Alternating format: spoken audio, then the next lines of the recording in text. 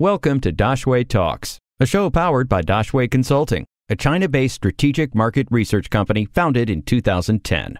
With Daxue Talks, you will stay up to date with all the latest business updates in China. Every day, you will learn from China based experts who share their knowledge about the Chinese market in two to five minutes. Hi, I'm Jess. I'm an audit manager from Dezan Shira and Associates. We are a professional service firm providing all kinds of market entry, accounting, tax, legal, and other advisory services for international investors who would like to conduct business in Asia. What's new in the new accounting standards?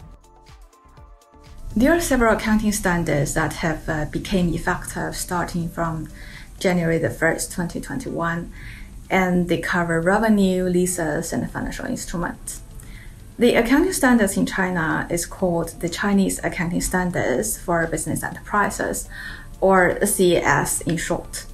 And these standards are required for use by all the large and medium-sized companies, not just the listed ones. So about the newly effective accounting standards, here are a list and we can see it includes CAS 14 on revenue, where the standard requires companies to adopt a five step revenue recognition model. And also we have um, CAS 21 on leases, where there are significant changes in terms of lessee accounting. And also you can see there are four accounting standards on financial instruments. They are CAS 22, 23, 24, and CAS 37.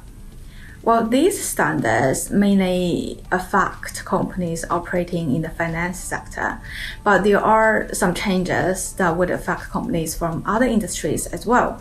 For example, there is a so-called the expected credit loss model where um, you need to consider when you assess provision for bad debt and that would potentially affect almost every company in China.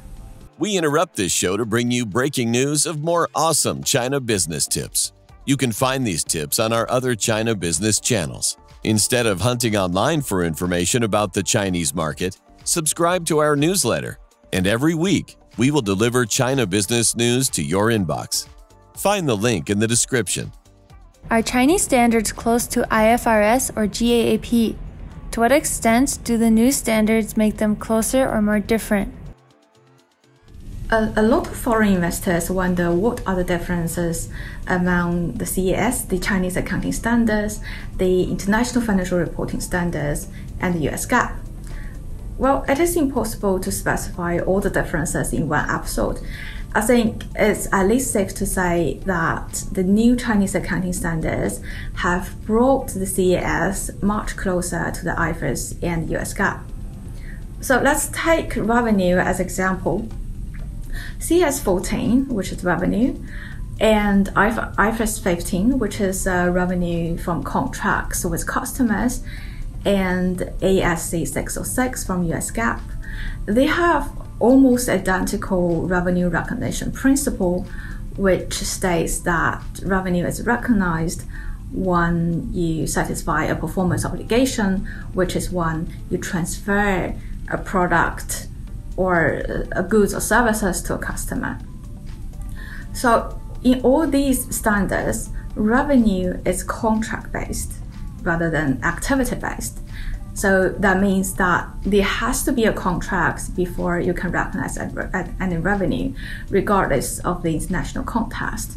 And of course, it can be a written contract or an oral contract.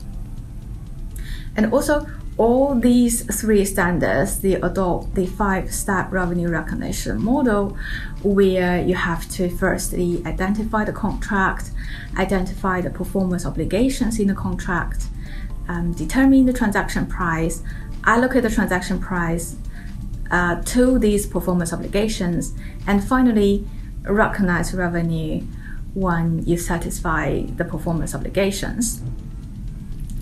And also in terms of revenue measurement, CAS, IFRS, and US GAAP are substantially the same when it comes to um, the accounting treatment for non-refundable upfront fee, uh, or things like variable considerations such as discounts, consider uh, concessions, um, allowances, things things like that.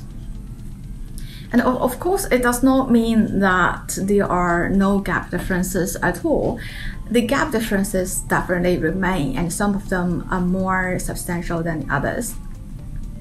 And also, in terms of leases and financial instruments, the new Chinese accounting standards also make accounting in China closer to IFRS and US GAAP compared to the old ones. And in fact, if you look at the history of the Chinese accounting standards, in 2006, the Ministry of Finance in China issued a set of new um, accounting standards that are very similar to the IFRS. And more recently, the IASB issued revenue standards, which is IFRS 15 in 2014. Um, and three years later, the Ministry of Finance in China revised the Chinese revenue standards and in, in 2017. And similarly, the IASB issued a new standard on leases um, in 2016. And two years later, the Ministry of Finance revised um, the corresponding standards as well. So you see, well, there has been a two or three year gap between the revised IFRS GATS issued and the co- corresponding revised CAS. But the, the Ministry of Finance in China is definitely committed to converge the accounting standards towards the global standard. So surely there will be some um, modifications to meet local requirements, but I think at least the newly effective accounting standards are already very similar to the IFRS and the US GAAP. Any questions? We will find an expert to answer them.